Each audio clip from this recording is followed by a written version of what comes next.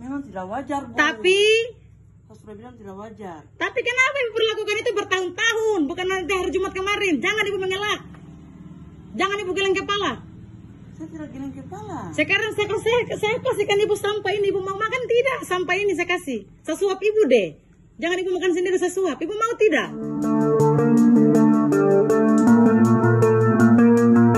Sahabat Kompas.com, MS seorang guru SD Negeri 50 Buton, Sulawesi Tenggara diduga menghukum 16 muridnya dengan menyuruh memakan sampah plastik.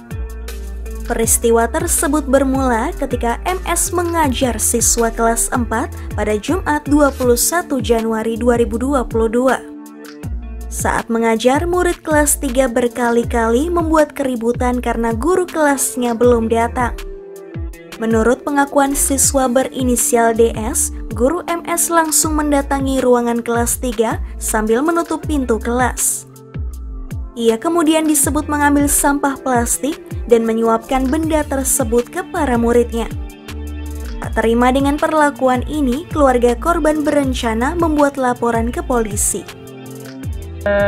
untuk melaporkan tindakan atas atas yang guru kemarin guru kemarin yang kasih makan muridnya sampah salah satunya adalah ponakan saya dan Dari- kami memang dari pihak keluarga tidak terima dengan perlakuan guru seperti itu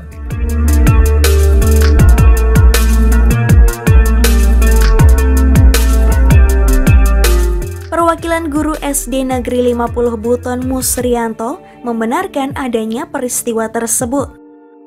Menurutnya pihak sekolah sudah memberikan teguran kepada guru MS.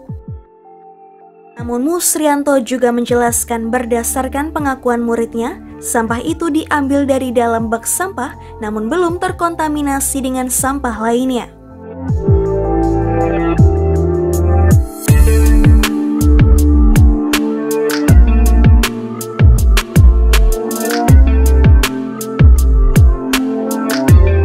Musrianto pun menyebut pihak sekolah telah menyelenggarakan mediasi yang telah berlangsung pada 24 Januari lalu.